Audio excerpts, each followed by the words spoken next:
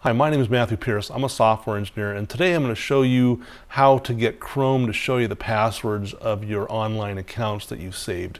Now, this only works for uh, accounts that you have actually saved the password for, or you happen to have you know, you saved the, your username. It, it won't do it for any for everything, but the first thing you want to do is get Chrome going. And then up in the right hand corner, you've got this icon here that you click on that and you can go down to the settings tab down here.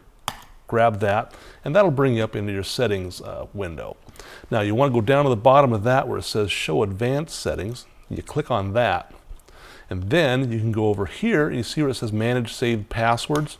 Well, this here, which is obscured now for security purposes, it has all of my the websites and my usernames on those websites and a column that has the, the passwords that are obscured.